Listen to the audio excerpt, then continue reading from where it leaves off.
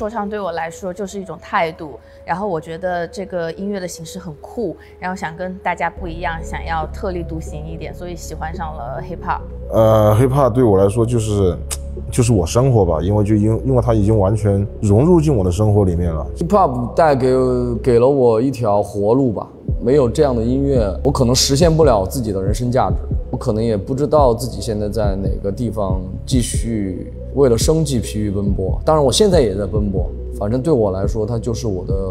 你相信光吗？就是那束光。这是我一直都很感激也很感恩的一点，让我在一无所有的时候培养了自己的自信。害怕对我来说是一种很棒的表达方式，因为平常可能我不是那么太爱表达自己想法和感受的人，但是写歌可以帮我表达很多。对于 hiphop 我没有坚持过，因为我是热爱它的。我觉得这是个我的爱好，它不存在坚持与否。一路走来，我每次看到音乐节台下的观众朋友们跟我的互动，他们的热情，然后还有他们跟我一起，呃，唱歌的时候，我的心里面是很感动的。对我能感受到他们给我的力量。二零一五年的十二月三十一日，因为那天对我来说其实蛮特别也蛮重要的。那天跟 Gosh 的兄弟。还有就湖南 Sub 的兄弟，我们都在一起，我们的演艺天，全场应该有大概三千人到四千人吧。第一次觉得哇，原来我可我的歌可以让这么多人就为之疯狂。心态上，每一次上音乐节的时候有期待。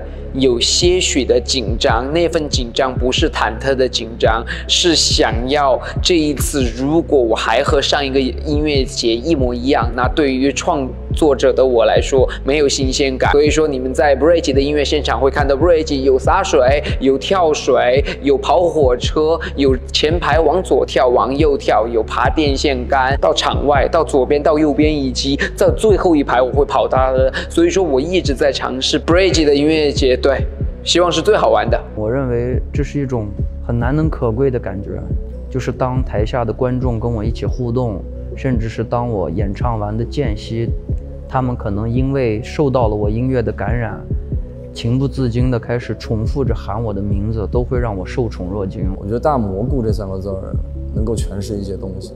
如果拼音的话，拼成“大蘑菇”也挺好听的。而且挺有意义的，什么蘑菇，它总是生长生长在那些你看似阴暗潮湿的地方，竹林里，就是湿地里，你没人看得见的山林里。对，无论什么样的条件，它都能长出来。其实贼像我们这个团队吧，就从无到有的一个精神嘛。市场上其他的音乐节都办得非常的好，但我永远都好像只是一个一个客人的方式去去到别人家里去玩，虽然别人也很热情。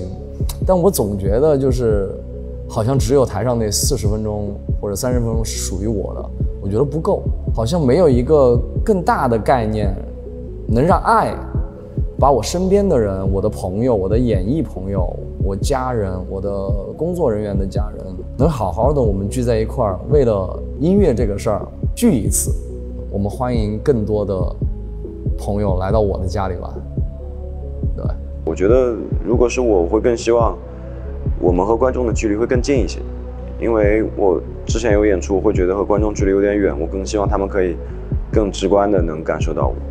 希望把音响设备顶到最满，对，多花点钱给我们的音频设备，争取让我们的音乐质量达到跟视觉还有我们这些优秀的说唱歌手们一样匹配的最顶级的配置。没事，我是。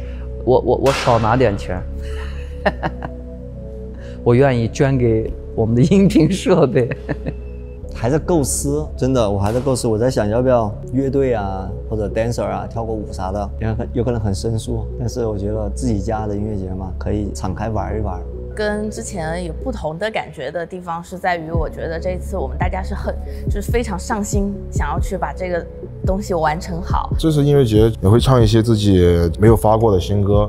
其实就比如说以前音乐节都是我们各自演各自的部分，演了之后就没了。但大蘑菇音乐节就不一样，因为就是我们所有人都在一起，可以合唱的东西在里面。没有这么多规则的限制。在 DMG 上面，我希望有一个自己的 cap 是能唱满十首歌或者到十二首歌。今年是黑怕的第五十周年，我希望下一个五十周年，黑怕在中国，首先它是一个继续的有爱的东西，和平的东西。我真的很希望黑怕会变得更多元，每个孩子都可以去用黑怕来说自己想说的话和想说的故事，然后黑怕涉及到的题材也会越来越广。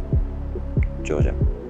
如果我们整个团中的话，我觉得最好是我们几个能给我们一笔钱，给我们一笔钱，我们能去旅游，就大家一块儿就是边旅游边玩，然后记录二十四小时生活状态，看一下哪个谁最邋遢，谁最爱干净。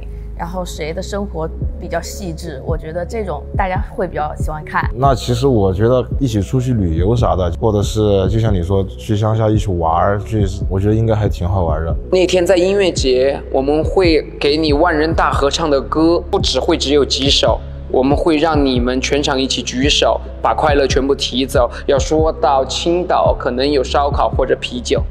这一次让你们感受到什么是全力以赴。这是一个属于筑梦者的集体，买不了吃亏，买不了上当。大蘑菇音乐节欢迎你，Run DMG，大蘑菇顶起来，用爱代替语言。